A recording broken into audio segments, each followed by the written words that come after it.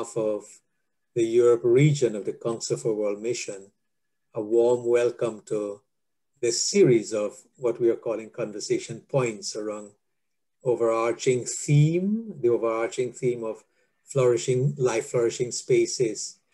And for those of you whom I have not met as yet, I am Michael Jagessar and I'm the Mission Secretary for Europe. And Sai, whom you could see in this frame here, in one of these frames here, is our program associate. And for those of us who don't know or who need to be reminded, CWM is a worldwide partnership of Christian churches. We noted last week there are 32 members are committed to sharing their resources, including people, money, skills, and insights globally to carry on or carry out rather, perhaps it's carry on, but carry out God's mission locally. And we are of course located in six regions of which Europe is one. And for the next period of CWM's strategic work, we have a vision of life flourishing communities living out God's promise of a new heaven and a new earth. Hence, we have sort of working around a strapline that we are calling life flourishing spaces. So these conversation points are intended to do a number of things to grow awareness, to encourage intentional presence and engagement, to cascade insights and learning, and to energize our practices, and of course, to build solidarity. And the contributors, as we have noted last week, could be colleagues from CWM, and also those that we are supporting in our academic accompaniment program, of whom Victoria is one, and commissioned researchers supported by CWM or supported by ecumenical partners or supported by local member churches and colleagues anywhere who are engaging in cutting edge pieces of work. So for a second conversation point, our presenter is Victoria Turner, a PhD student at the University of Edinburgh and a younger member of the United Reformed Church. I still like to count myself as young, so I'm noting that Victoria is a younger member of the United Reformed Church. Now, um, Victoria will say more about herself and Lindsay would also be introducing her. Victoria's topic would be youth, object of or partners in mission and ecumenism. But moderating the conversation will be Lindsay Brown. Lindsay is a trustee of CWM UK and a member of the CWM's board of directors and also a training and development officer of the Eastern Synod of the United Reformed Church. So I now would like to hand over to Lindsay and Victoria. Lindsay? Thank you very much, Michael. And I just want to reiterate that very warm welcome um, to you all this afternoon. It's great to see lots of familiar faces, but also new faces. So I hope we uh, find this afternoon enriching together. Um, just to take you briefly through, uh, it's a very simple program for, for this afternoon. We're going to start with a presentation from Victoria, um, and then we'll go into breakout rooms. Um, both Victoria and I will be coming into your breakout rooms to uh, participate in your conversations. So um, expect us to pop in and out uh, during that time. Uh, and during that time, we'll um, hear questions from you and comments from you that we'll then bring back to the main space at the end uh, so that we can direct those questions uh, to Victoria. Uh, so that's the, the, the, the, basic sort of shape of our session together. Um, I'm really, it really is a really great pleasure to introduce Victoria this afternoon. Um, she has great personal and research experience of youth participation in mission um, and also of national and global ecumenism. Um, she is, uh, she has a long list of, of, uh, of, achievements and participation. She's currently the Mission Council and General Assembly representative for the United Reformed Church Youth. She sits on the United Reformed Church Baptist Interfaith Enabling Group She's a trustee for Churches Together in England. She's a trustee for the Society for Ecumenical Studies. She sits on the World Council of Reformed Churches Discernment Group and is on their planning group for their 2021 Youth Summit. She has a really refreshing way of applying theology, theory and research to real world situations. And that's what these uh, webinars are about. We're looking for on the ground transformation uh, for our local practice to be really energized um, and, and not just to stay in, in the academic books and the academic writings. We need uh, real change in our local communities. Um, as you heard from Michael, um, uh, Victoria is being accompanied by a CWM um, uh, program at the moment. She's also taken part in the European Youth Program and Global Youth Program for Global Youth Forum for CWM. Um, and she's currently undertaking a PhD in Edinburgh, uh, which she will uh, talk to you more about because uh, part of that is the topic for this afternoon. So I'm going to now hand over to Victoria. Thank you, Victoria. Thank you so much, Lindsay and Michael. Uh, I think my uh, Sai just put up a poll, so before I start, we could take a little moment to answer for me. Does your church treat young people as objects of or partners of mission? Just to kind of test the water, which one do you think it is from your personal experience? Okay, so as Michael uh, said earlier, the, the uh, title for this presentation is Are youth, are they objects or partners in mission and exploration through the case study of the Iona community? Um, so my PhD is looking um, basically at mission from a non-evangelical perspective. Uh, I'm in the field of world Christianity and it tends to overlook the more um, creative ways of doing mission, I guess. Um, and I think I when I understand mission, I I always am kind of conscious of where ecumenism and youth fit in because I think it's very dependent. Um, does ecumenism come first? Is ecumenism part of mission? Is can you do mission without ecumenism? So I think these questions are really important. And also young people, I think um, like where they fit in is always very interesting. So for me, when I started my undergrad degree at Bristol, um, I thought I would be doing like Eastern religions and Hinduism and things like that. Um, but very quickly, I kind of wanted to study my own religion. I was doing lots of stuff with CWM and found it really exciting. Um, and for my dissertation, uh, I changed the topic really quite late on because throughout my undergraduate studies at Bristol, um, unfortunately, uh, 18, I think it was around 18 students in the three years I was there committed suicide. It was Bristol, Bristol was at university at the time when I was there, always in the news. Um, so that really moved me to kind of write my dissertation about like mental health and how we can help students and young people. So I looked at the link between Christianity and mental health for my undergrad dissertation, um, which kind of led me on the path to young people because I realized there's really not that much written about it. And the stuff that is written about young people in Christianity I couldn't see myself in it. It was mostly about evangelical young people. And I was like, that's not me. That's not helpful for me. That's not expressing my views. Um, so then my master's, I came to Edinburgh to look at world Christianity, to do to be able to do ecumenism, interfaith, like all of these different things, a little bit of theology, how scary is that? Um, and my master's dissertation looked at the Edinburgh 2010 Centenary Conference, and there there was meant to be a 30% um, like the, the delegation was meant to be 30% young people and young people was um, deemed under the age of 30 but they achieved just under 10% being under the age of 35 in the end and, and presented that as, as a success. Um, so they were marginalised numerically. And then also when it came to the conversations, young people tried to bring up in this collective document that they made during the conference that uh, binary there were only binaries with gender and sexuality being like the normal like male and female and like heterosexual. And the young people there in 2010 were like well that's not representative. Can we change it? Um, and they they were not allowed to do so. The a few evangelical members went up to the people in charge of the mission board and said if you do put anything like that into um, this document we won't sign it. So for me like that that misuse of power um, was another reason that kind of pushed me on this road of looking at young people again. Um, so my PhD, that's where this comes in, and I decided to kind of explore those things that haven't really been explored before. So the, the main uh, the main push for the PhD is understanding mission. And um, that's why I've got the two case studies, the Iona community and the Council for Mission.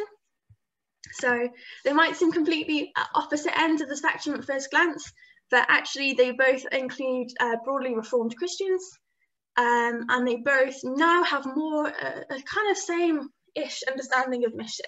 Mission is in it's about everyday discipleship, every person, every church doing their own mission. It's mission being in the world and being alongside people. Um, so, um, and they also are quite understudied case studies. Um, so the London Missionary Society, so the precursor to CWM, has had quite a lot of research done on it. But CWM post the change from 1977 hasn't really been studied very well in academia. So that's one reason. And the Iona community as well, there's quite a lot written about the Iona community, but it's written from the insider's perspective. Um, so you have like uh, reflections from people who have been in charge or the leaders of the community. You have like the biography of George MacLeod, but they're also written quite romantically. They kind of like see the past that they want you to see, which I, an insider can't help doing. And they're still useful, but again, it's not a more objective theological uh, way of understanding them. So my outline looks at the change in geography and direction of mission. So both of them in some sense started from the centre and went out. The London Missionary Society started in London and um, went out to convert the heathen world into the, the Christian way. Um, and the Iona community went to Iona uh, with a kind of like training ground almost to then go back to the suburbs and the industrial estates where people kind of go went away from Christianity and were getting like converted into communism. Oh gosh, could you imagine that? So that was really the push the Iona community to go back into the parish and reignite um, Christianity, Christianity there. And obviously now that geography is completely different. That's not what mission means anymore. When we think about mission, we don't think about going out into somewhere very unexpected, but we think about mission in our own, like in our own communities. Um, and then I'm trying to understand the, the uh, history and tradition in understanding mission theology.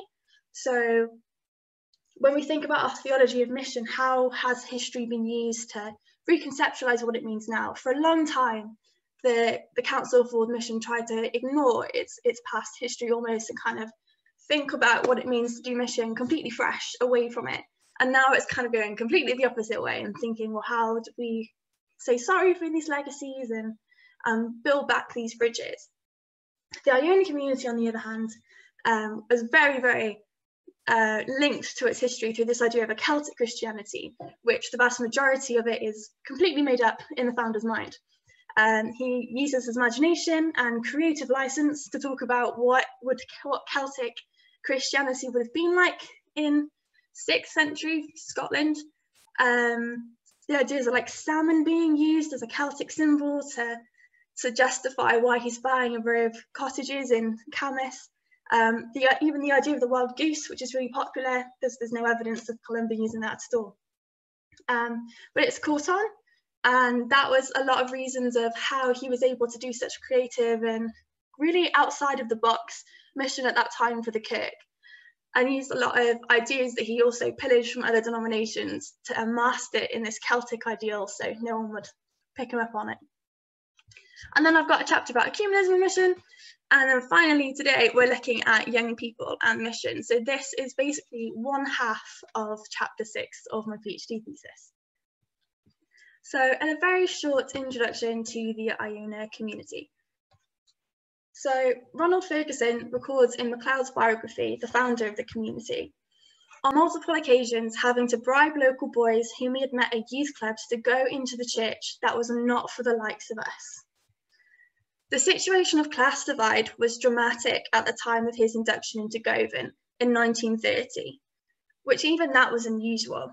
This man was was born into a family of Kardashian. If, if this was now, they're like the lineage of the Kardashian family and celebrities.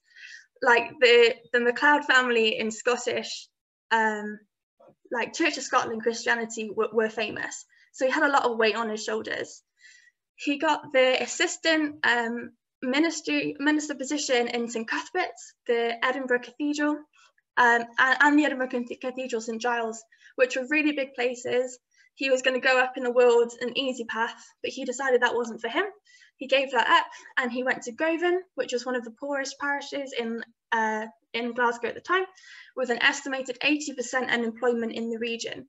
And he decided that that's where he would do his ministry. His concern for it and his gifts for the average working class person was not claiming uh, Irish, uh, Irish immigrants for uh, the unjust uh, ideas that were in Scotland at the time. If you want to read more at that, I would um, suggest reading Stuart Brown. He talks a lot about it and that's really, really interesting. Um, but that was his, that, that's what he came into. He came into ecumenism meaning organic unions. And the kirk existed for the, the middle class, upper class person. It was a very upper class institution. In his original submission to the trustees of the Iona experiment in 1935, MacLeod wrote, if Christianity is the only answer to communism, which was a threat, Christianity must be more concerned with its corporate witness, or else we deserve to perish by default. The lost potential of spreading the gospel to young men by the parish church was the motivation for him starting the Iona community. He writes in the first issue of the Communities magazine, which is still going today, The Coracle, unless our Christian democracy makes more forthright experiment, the youth of our land will never, will not forever be put off by our mere disclaimers that ours is a faith for the world, superior to communism and fascism. It is by our fruits we are known. So from the outset, we see a concern for the younger generation and an enthusiasm for real world application of the faith. The wide-reaching aim, however, is not immediately noticeable in the makeup of the community that he created. The new brotherhood, the original Iona community, consisted of 50% craftsmen and 50% ministers in training for the Church of Scotland, who spent the summer together in incredibly basic conditions for the purpose of rebuilding the historic Iona Abbey. Kathy Galloway has commented, in contrast to the diversity of the Iona community membership today, a less inclusive community would be hard to imagine. Behind a successful boys and girls club in Govan, and these young people wanted to be involved with their charismatic minister's new adventure. Yet Dun Duncan Finlayson, who recalled to Anne Murray, who did an oral testimony of the Iona community, when he was asked in the early days if he was planning to involve young people, he uh, commented that if the community gets drawn aside into getting involved into young, with young people, it'll be a complete disaster. In typical MacLeodian fashion, three years later, him and John Summers decided that youth groups needed a Christian renewal. And the men started a youth group in Canongate on the 4th of January in 1942. This was against many of the Church of Scotland contemporaries at the time who thought that this should be a government prerogative and it wasn't the role of the kirk. The one incident didn't diminish MacLeod's enthusiasm, however.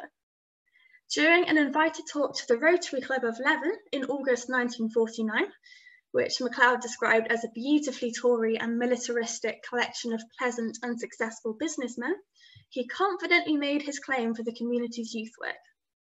He questions during his speech what Christianity is, asking, is it sentimental comfort, pleasure, or a cheap and inferior form of dope, or is it the living witness of men?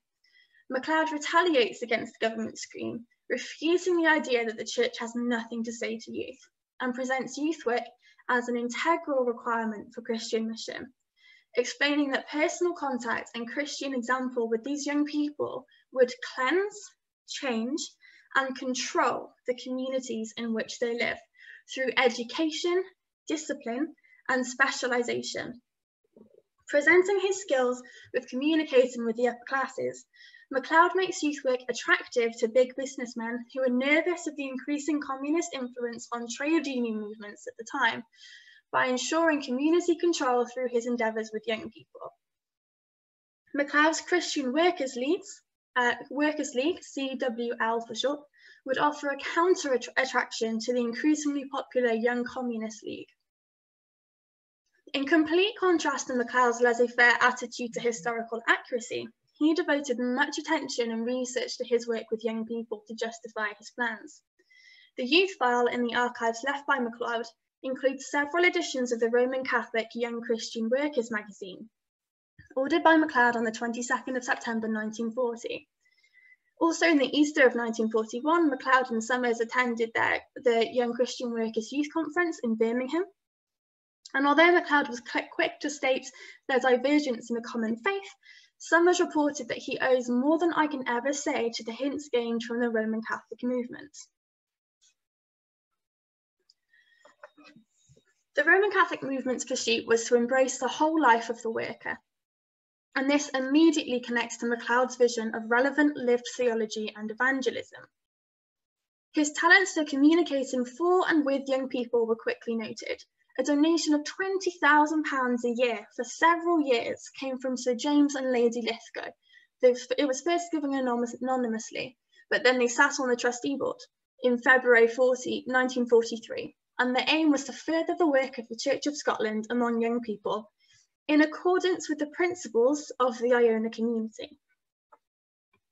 Being convinced that the future welfare of the people of Scotland is bound up with and is dependent upon a reassertion of Christian convictions among its, among youth, and the practice of the Christian faith in terms likely to call forth from their discipline and devotion for the instruction, training, and guidance of young men and women in Scotland in the Reformed faith.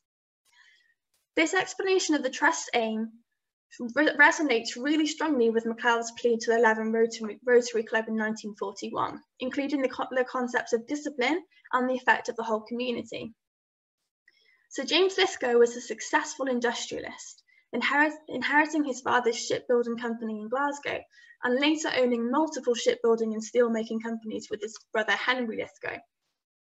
The brothers were brought up devout Presbyterians and donated vast amounts of money to the Church of Scotland, However, Sir James's political concerns also aligned with the nature of the Church of Scotland at the time.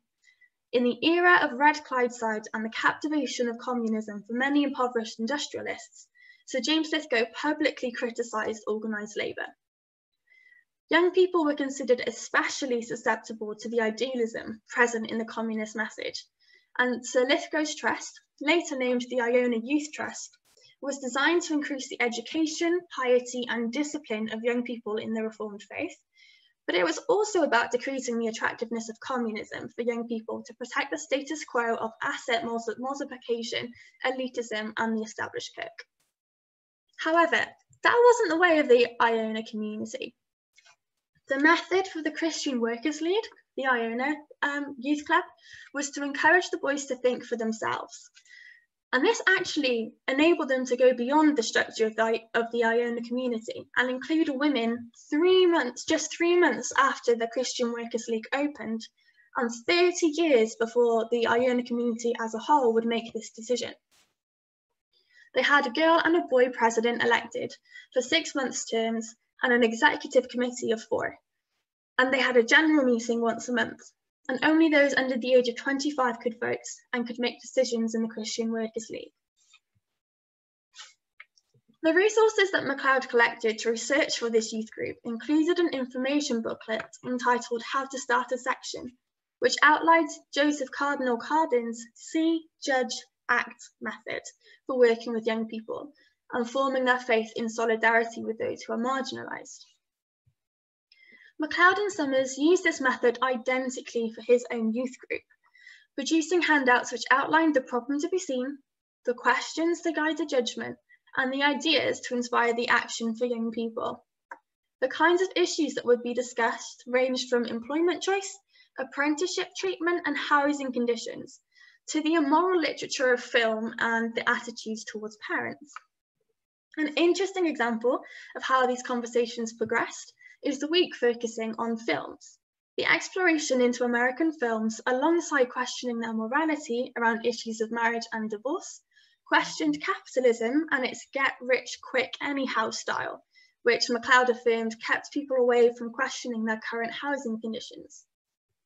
Additionally, when thinking about housing issues, it was encouraged that the boys think about how this could affect a person's health, their body, their ability to read and think for themselves, their mind, and their religion, morals, and character, their spirit, seeing an intertwining of well-being and faith. The young members would also work in the community, visiting pensioners who live by themselves twice a week, putting on concerts for them, campaigning for better pension support, and also managing an allotment to be able to give vegetables to around 60 involved older members of the community. The CWL also maintained a relationship with the Young Communists League, debating and dialoguing, and this grounded, this grounded relationship helps the Kirk side with the Scottish left in the 1960s and 70s in their campaigns against nuclear weapons. 1943 saw this group come to Iona in the summer and start the famous Iona youth camps. And a lot of the activities that were practiced in the Christian Workers' League clubs were later replicated in these camps. John Jardine, who was youth secretary in the 1950s, wrote about how five to 600 young people came to the camps to Iona each summer from a great variety in social backgrounds, and their accents differed as much as their occupation. They braved the less than idyllic conditions of worn down tents, no running water, no electricity, precarious toilets, and mostly tinned food. Um, the age was between 17 and 25, but at that time, the average age was actually around 24, 25. So it's really high, I think, if you think about it now, like the kind of when we think of a young person nowadays. Um, the youth camps were an opening of the community to young people, enabling the young person's full participation in worship and the thought of their community leaders. The recorded reflections state that both parties, the host and the receiver, were as influenced as the other by this month-long act of hospitality. By the end of each week, the small island saw tears leave the young people's faces as they welcomed a new group of campers at their departure. Ferguson comments that young people, male and female, from many parts of from many different denominations and backgrounds, made an enormous impact on the life of the Iona community. The experiences of the camps led young people to petition for their own membership, which was enacted in 1944. The Iona community engaged ecumenically through its work with young people, and these same young people pushed the community out of its creative Presbyterianism into an internally ecumenical community. And their comments that despite the fact that young people did not originally feature in MacLeod's original vision for the Iona community, countless young people first learned what it meant to belong there, and they wanted to continue this sense of, belong of belonging. There is actually quite a lot of confusion about the order that associate memberships were created in the Iona community. However, the primary literature records that a women's associate membership was established already in 1943 and by 1944 had 240 members. And the Coracle points to both the stream of layman and youth associate membership being explored concurrently in 1943. Mawson attributed the action of young people insisting on their involvement as opening up the general lay associateship. And Galloway also claims that the change in the makeup of the community came about organically, not from an, an internal change of heart from established members, but from others on the outside who lobbied to be included. Youth work was focused on two areas, youth delinquency and educating students, both outreach areas. However, However they were envisioned, however, they gave a lot to the Iona community. Whether that was hope, theological understanding, or political knowledge, I think both parties were influenced. And um, Morton, who is an ex-leader of the Iona community, said that young people actually changed the face of Iona. However, that only went too far. In the trustee meeting of the Iona um, Youth Grant in 1950, Sir James Lithgow, in a letter, states his concern about the political nature of the Iona Youth Trust Community House, the biggest project of this um, grant, which created a really big space in Glasgow that welcomed all young people and everyone to do things like um, theological classes, political classes, drama classes, art classes. It was quite impressive. However, he stated that membership to the Iona community seems to imply also a membership to the Socialist Party. MacLeod refutes this and reassures Lithgow that the community holds within it multiple political conv convictions. However, Sir James Lithgow res resigned from the trustee board, though his wife Gwendolyn stayed. It's pretty cool. On the 4th of September 1950. He outlined in his resignation letter that the lines of approach suggested in Community House suggest permanent, per, per, permanent participation in party politics by the instructors. This does not accord with my views as I am totally opposed to associating religious instruction with the doctrines of a political party. However, he acknowledged that he was not an expert in these matters and that it would be unfair for a grantor of the trust to overly influence its direction. This central experiment of the Youth Trust was designed as a completely open planned and accessible space. The chapel wasn't even separate from the dining hall and even the warden's flat was not come off, cut off from the wider centre. Ian Renton paints the scene well. You had criminals, Borstal boys, divinity students, students from the university, people off the street for lunch, everyone in one space.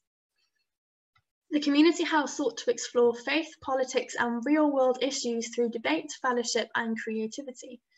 Aimed at young adolescents who had left school, the centre provided a space for the blindly optimistic youth to rekindle their hope and find purpose in their depressing context through discussion, study, Bible study, and action. And young people were also given the opportunity to listen to quite impressive theological discussions. For example, the Iona Youth Trust organised a four-week seminar series at Community House in the spring of 1947 named The Church in the World Today, four addresses and a forum for discussion of students on the message of the church confronting man in society. The series invited Lesslie Newbigin, Thomas Forsyth Torrance, Henry Whiteley and George MacLeod to address the audience, with Professor George Hogarth Carnaby McGregor and Archie Craig as the chairman. It's quite an impressive lineup. This positive reinforcement of the capabilities of young people continued with Henry Jones, who was employed from 1948 until 1958 as the industrial secretary, and he led workshops in the Christian faith and politics. A lecture course, for instance, was offered by Jones from the 19th of October to the 7th of December in 1945, which is entitled Christianity and Communism. Another example of young people not acting in the way envisioned, envisioned was in 1946. Four young people from either the Church of Scotland or the Iona community were granted £120 to attend an ecumenical youth conference in Czechoslovakia. The 1947 World Council World Festival of Youth convened in Prague and sponsored by the left-wing World Federation of Democratic Youth made a large impact on the young delegates. The Church of Scotland Youth Committee reacted to how the young people were ambushed by the communist youth representatives, attacking Western ideals by creating its own commission, the Communist Challenge to Christian Youth. It's conceivable that the young people were positively shocked and challenged by the left-wing arguments in the conference. For if they only saw the counter at the conference as negative, it's quite unlikely that the youth committee, with George Dryburgh at the helm, would have quickly argued for the dangers and the impact of communist idea, ideals on youth. So I think these two examples um, show a really big contrast of how youth were treated. On the one side, it's all about free thinking and then making uh, their minds up by the, on their own and empowering young people. And on the other hand, it's about controlling and educating and showing that there's a right way of thinking and a wrong way of thinking to align with the church at the time. Fasting forward just a couple of decades to around nowadays, um, from around 1990, it began to report that um, youth were becoming less and less interested in the programs of the Iona community. They still remain as one of the community's five-year target areas, um, alongside reaching full intercommunion by 2000 um, even though the report in 1991, for instance, um, just said that it was trying to increase youth con contracts, the 1992 doesn't mention the community's work with young people at all, despite including a section commemorating George MacLeod by remembering his last board meeting, where he urged the community into four directions, the last one being caring for youth. So I thought that was quite ironic. The rest of the 1990s saw um, a concern for the future of the Outdoors Educational Outreach Centre Camas due to low involvement from young people as well. From 2001, the tone of the Iona Community Report to the General Assembly of the Church of Scotland became more professional and institutionally focused. The report of 2001, for instance, rather obscurely and impersonally stated that they were reconsidering the youth policy and that youth, but the youth associates were still meeting. The excitement of seeing young people's lives changed is missing from these reports. We see the yearly youth fest on Iona being reduced in age for 14 to 18 year olds and the youth associates being fully represented and integrated into the community's decision-making bodies and processes in 2003. However, there is, a, there is a lack of depth, but that's not surprising considering that the youth work team had been reduced to one full staff member in 2005. If we go back to the 60s, we had a team of eight full-time youth workers were employed the 2012 report um, saw a bit more enthusiasm when two full-time youth workers, Chris Long and Ben Raw, were employed. Um, in 2014, the diversity of the youth work was once again highlighted, and it was affirmed that the youth work meets young people where they are and offers them opportunities to explore what gives life meaning, to connect with others, and to know that they have worth, that they fit. This report seems much more in line with the enthusiasm of the 60s and 70s. By 2016, however, funding had been cut and Ben Raw was let go to leave just one, time full, one full-time youth worker. Chris Long remained and worked with the youth groups on campaigns and demonstrations against nuclear weapons, racism, supporting refugees and asylum seekers, and tackling climate change. He also began a new community in Glasgow called iGlow, which is just about still going today. We see a daunting, we see daunting challenges, however, and in 2008, the community decides not to replace their full-time youth worker when um, Chris Long retires because he didn't have enough support. Um, they commissioned a youth worker part-time to do an audit of the community and he stated that we are less likely to include the most vulnerable in our society who have numerous barriers set against them if we don't employ youth workers. And he warns that the community's youth work will soon be made up of the children of community members. The community has moved from youth work as being one of its core commitments that was also recognised as having the ability to renew and enhance the community itself to something procedural that needs funding and attention this is a shift in the community's theology, as young people are no longer seen as a priority for mission, nor are they seen as a priority for the ecumenical balance of the community. Additionally, working class people have historically come into the community through encounters with youth work. If a diversity of people are not reached as young people, then it can be assumed that the whole makeup of the community will suffer from a lack of diversity, as adults engaged in their work or their churches are less likely to invite or engage with a stranger at a Christian camp like young people would.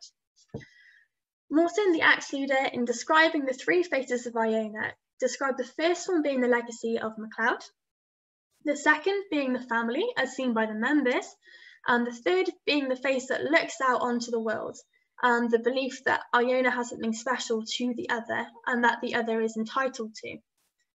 Here he distinguishes between the real body of the community and those on the outside. An interesting reflection would be to ponder on where the community, where young people are in the community. Are they on the inside or on the on the outside? Are they entitled to work? Um, do they need the attention of their own community? That could be distributed somewhere else. Are they something to mission out or are they something to mission with? Perhaps those who have organically grown up in the community are somewhere else to do than the working class young people who were ministered to, for decades. Um, the disadvantaged young people who are, have been changed by the encounter with the community for decades are no longer really um, ministered to. So this this is kind of this is kind of the, the issue that we're we're trying to tackle today. Just got a few questions. So when we go into the breakout groups now, sorry, I've just like learned like a lot of information on you um, with um, with my friend. So in my group, we're going to be answering these questions. So how do we keep the balance between understanding and allowing young people to have their own agenda, yet supporting their mission? Has the place of youth work changed? What problems can we see with the term youth work? How are the contexts of the late 1930s industrial Scotland and contemporary Scotland or Britain different or similar? Does this affect our action? Should we be doing the same things as MacLeod was doing in 1930s? Possibly. Or should we be doing something different? Is youth work completely different now to what it was then? And lastly, what role should young people play in mission? So that's what you're going to be doing with me. And with Lindsay, you'll be coming up with questions that you can come back um, into the main room afterwards to ask me. So thanks everyone for listening. Thank you so much, Victoria, uh, for that huge amount of information for us uh, for us all to digest. But uh, really appreciate that, and it's great to have the the background, the context, and the contrast, I guess, between the way in which it was initially set up and and what it looks like now and uh, I think that raises challenges for all of us uh, wherever we are at the moment wherever our our church is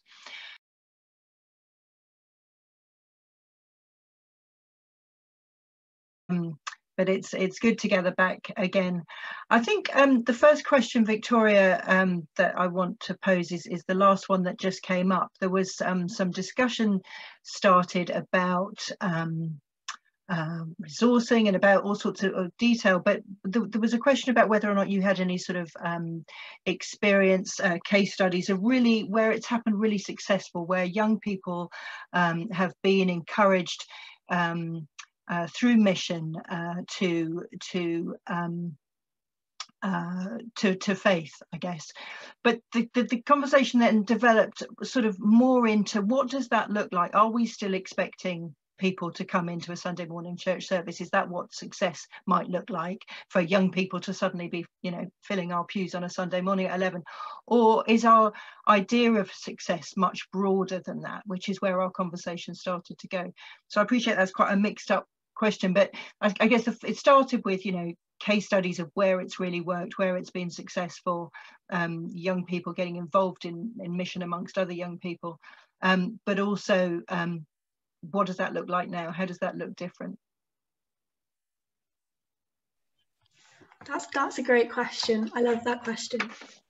Um, so uh, in March last year, I did a, a, paper. I gave a paper to a conference in Westminster College in Cambridge, um, and the whole idea of this paper was to try and talk about um, how young people are kind of molding the URC youth and, and the church to kind of be what they want it to be. Um, so I was talking about how not all of them go to a local church, and a lot of them see, Lorraine's just smiling because she knows what I'm going to say. A lot of them see URC youth as their church, and that fellowship with the other young people is what they understand as their discipleship and their ministry and the fit and I was just talking about how they want to get involved in like social justice issues and JPIT and they could sit on the boards of the URC and all these different ways and how the URC could integrate young people beyond the local church. And the first question I had was, but how do we get them back on a Sunday? And I could have like exploded because I was just like, well, these are all of the creative ways that they want to be involved, but you just want to see them sitting on a chair listening to the preacher on a Sunday. So I think um, for me, I think that's my successful model of, of where it's going. Um, things like Pete Ward's Liquid Church and like way, ways of that, that young people, I think, so the URC youth that I'm involved with as well, um, they were the first, one of the first to start online church during COVID.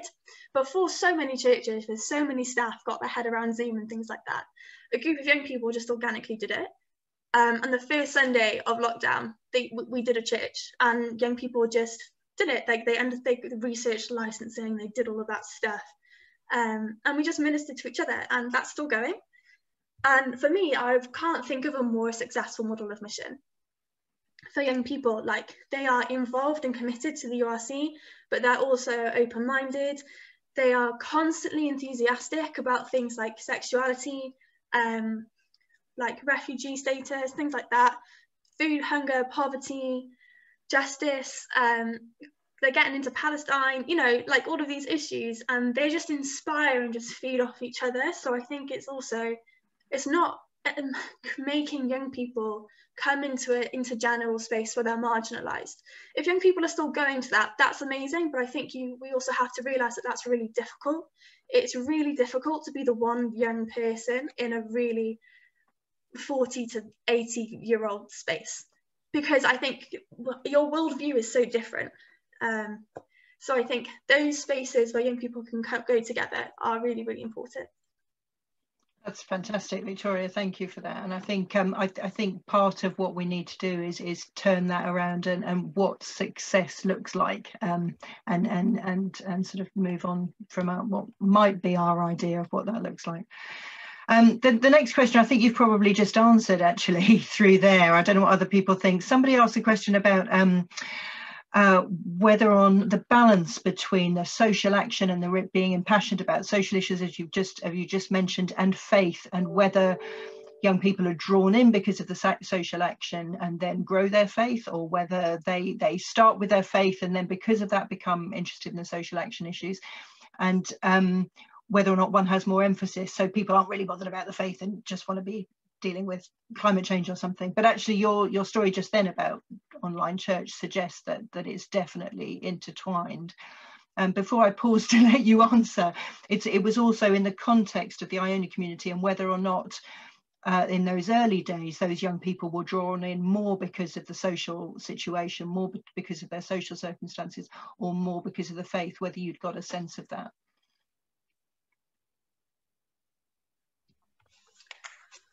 Yeah um so i think i went i went to a webinar a few weeks ago that was about the economy and ecology and it was Ruth Valerio and Rowan Williams speaking and one of the comments was talking about um, the influx of Labour supporters and how young people only want to support social action because it makes them feel better.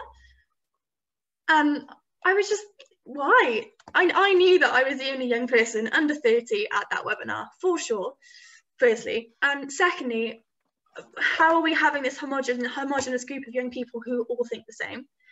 And thirdly, I, I don't think that they do social action because it makes them feel better. Um, are young people just drawn because of the social action? I think to answer that question, I would like to say that young people are not drawn to a church who doesn't that doesn't care about social action. I think young people from the early days of the student Christian movement, um, people got excited because it was the idea of like a holistic incarnational theology. Like your faith was being lived out. I think young people search for authenticity. They, I think they, they smell out a preacher who's preaching something that he's not practicing. I think young people are like forming their identity. They're forming who they are as people. Um, and trying to make the world a better place. They're trying to understand what justice look like looks like. They're trying to understand their passions. And I think if they go to a church where that's not important and all that's important is is sitting in a pew on a Sunday, you know, that's not the kind of life that they want to lead and that's not an influence that's, that's useful, you know? So I think I actually would say that you can't divorce the two. Like for me, I couldn't be a Christian without being involved in social action because they're they're not you can't separate them. I either am a disciple and I live as a Christian or I don't.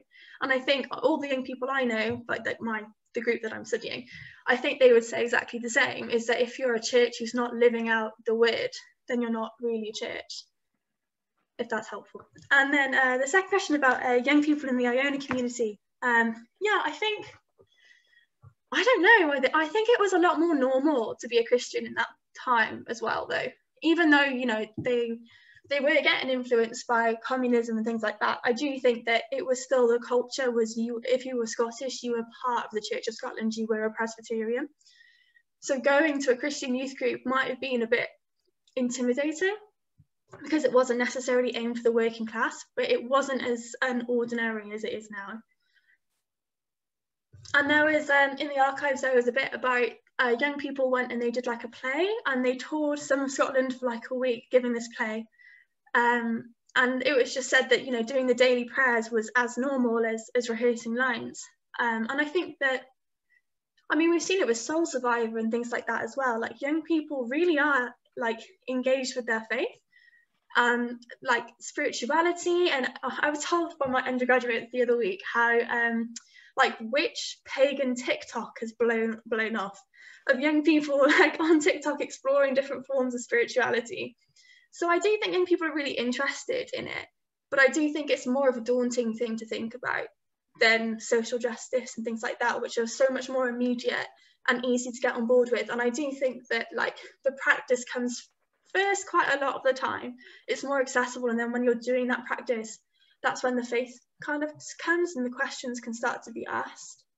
Um, is one more important than the other i don't think so. I think they're mutually I mean, I think when you're thinking about ministering to a young person, I don't think you're just looking at just teaching. I think like it's, it's a whole life formation. Like a young person is trying to figure out who they are in its entirety. So you can't just give them the, the gospel without also helping them to to live out that gospel. So I think it, they're both yeah intertwined. Thanks, Victoria. And I think I think uh, the, the, the comments in the chat sort of back that up that idea that it's a cyclical thing almost that it's that, that they're inter intertwined sort of inextricably linked um, the two of them need to go hand in hand don't they? But um, thank you for that. Um, we had uh, a couple of people raised um, the point that it's often the older as in often significantly older people in our congregations who really recognize what young people are all about because they remember it or recognize it from their own sort of active youth. Um, and whether or not we had a skip generation where young people didn't care so much or whether when you're in middle age and your focuses are elsewhere and you forget that aspect of yourself i don't know but it seems to be the older people who really recognize and and um, uh, connect with young people and and and that sort of that spirit of, of activism perhaps that spirit of, of, of social action. Um, can you are, there any ways can you have you got any ideas for how denominations can learn from that sort of uh, lifting up um, uh, of, of others inviting that invitational relationship between younger people and older people and trying to lift up those younger voices um, that maybe was seen in that in that early Iona community. Yeah, I think I think the model of, of see, judge, act is, is a really good one. Um, because it just kind of I think I think the premise was, is also that you are teaching young people at the same time. You're teaching them how to think, but you're not teaching them what to think. And I think that's that's where we need to go. I think we need to say, like, we want young people involved in our church, but we also have to recognize that young people are going to change the church and that that's okay. I mean, so uh, there's so the URC have the best integration of young people in the General Assembly out of all the denominations, um, the Reformed denominations anyway. Um, but before the URC Assembly, they have an event called What Do You Think? where they all sit together and discuss the motions collectively so that when they go into the General Assembly, they're not on their own, like doing, doing that, you know, really scary process. So I think things like that are really important, that we need to recognise that we kind of need to see young people as their own cultural category. Not trying to hom homogenise an experience of a young person because like class difference, racial difference, gender, sexuality difference, like there, there's a lot of diversity in that already. But I think a generational worldview is quite different to the one above. Like my views, I know are completely different to my parents' views, even though we get equated quite a lot because we're related. So I think that can happen with young people, but also like they just need to have their own space because they're all forming their identity and where they are in life at the same time. So I think we need to have a bit of both. I think we need to enable young people to think for themselves, but at the same time give them the tools and give them the tools in church. And I think that starts early from letting like children join in church like letting them play instruments and ha- like ask questions, things like that. And then when we get older, I think enabling more integration. I think young people, like teenagers, is when they're asking the questions. I think we need to allow the space for the questions um, and be like an approachable person. I think never saying no, like why like we need to question things like well why aren't young people coming to our general meeting why aren't young people allowed to vote why couldn't this young person sit on the leadership of the church you know? Um, and just kind of get rid of our own presuppositions as well and kind of think like how can we empower these young people? Like what do they like doing? How can we help them? And i think that yeah i, I yeah i do agree with that the older generation have more time for younger people. Um, I mean, I've got a lot of um, there's a lot of older men in in around my church who've been so helpful for me as well and empowering um, or just older people in general? I don't know why that is. That's a really interesting question. I felt so too. It was, uh, yeah, it was. It's a good one. Um, possibly as part of that, I mean, I, I know that um, uh, you, a, a, traditional church service doesn't allow room for those questions. You said about, you know, being allowing space allowing you know patience and space and time for questions to be answered. And i think a traditional sort of hour sunday morning service is usually usually top down uh, and delivered at you rather than than with you. And and young people are not used to learning like that. That's not that's not what school looks like anymore. It's not what college looks like. Um, and older people were maybe more used to that kind of delivery of information. Um, but young people want to be participants in the conversation uh, rather than being delivered to as such. And I wonder whether that's something to do with as well, whether, whether our whole hour long um, traditional service um, it doesn't sit naturally with the way young people learn. I think sometimes it can, but I think there just needs to be kind of different spaces. Okay. I think we also decide that young people aren't spiritual and they don't have that connection, oh, young people can't possibly sit still for that amount of time. Whereas they definitely can. If anyone's been involved in godly play, like children and young people can be still and thoughtful for such a long time, and it's incredible. Uh, I mean, I've been most um, affected by youth gatherings and like massive global youth gatherings and just seeing the piety and spirituality of other young people around you is just like it's mind blowing. If you have a young person in your church who's never experienced that, like send them there because they won't not be a Christian after experiencing something like that. I think young people have a really like powerful link to to God and, and what that means. And I mean, youth assembly, when we do like communion at the end, like young people, they, they cry and they're sitting there and it's so mindful, it's so thoughtful, you know, there's so much stuff going on for young people. Every day is so emotional. I think when you're a teenager, we know that if you've got teenage kids. So I think that they really do have a link, and we have to allow them space for that as well. Space for quiet, space for, and there is space for listening. I'm not saying like young people are always right. We know they're not. Um, but there's also space for, for questioning, and I think we have to value them as people, and they're not just things to be to be taught or you know they and, and they can't just integrate with the with the larger community seamlessly when they're only see, seen as X or Y son or daughter. I think we have to allow them to, to formulate who they are in in our presence as well. That's really helpful. It's it's it's a much more mixed picture than we sometimes assume, isn't it? Um, I've got a, another question here about um,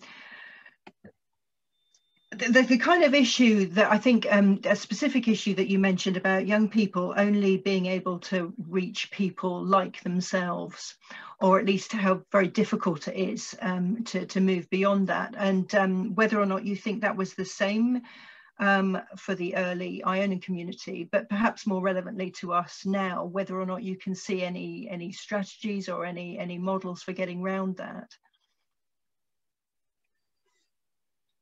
Um, yeah, back then, um, the first youth worker employed by the Iona community in 1942, he was 23. Um, and he first worked for the government with the first intergeneration, intergender youth group. So there used to be boys groups and girls groups, and they mixed them together. And he was the first person employed to do that. And then he came to the Iona community. And he was talking about how the average age in the 40s was around 26, 27, and it gradually went down to the 60s and 70s, it was around 23, 24. So he was in charge of this group who were all older than him. Um, and he said George MacLeod was the most terrifying man he had ever met. And John Summers had a quota for these youth camps that 60% of the young people who went had to be um, for, like working class, they had to be struggling with money, that that sort of agenda. And they would be there in the Iona groups. So these Glasgow young people you know from from very very very bad conditions. Um, with theology students who obviously quite upper class they went to universities they were in you know St Andrews Edinburgh. And you know that was the kind of atmosphere.